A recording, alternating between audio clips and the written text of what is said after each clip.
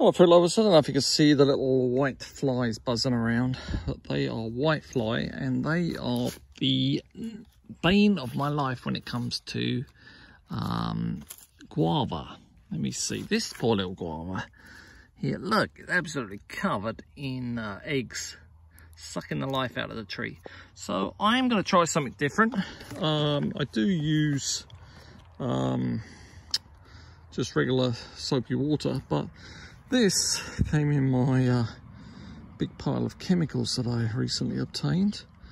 It says it's OMRI and it's uh, so organic.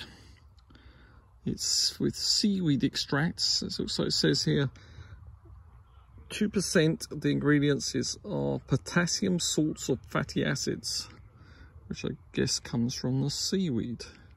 So I'm going to spray these plants. Uh, it might be just, it's possibly it's just a gimmick. Maybe it's just a soap because if you smother the uh, whitefly, they will die.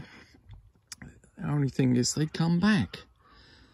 They come back again and again unless uh, you apply some really nasty chemicals. So I'm going to give this a go and uh, I'll put in the comments below or in the description below how it works in the like after a week and then after a month if there's any difference if it even gets that far without the whitefly going back.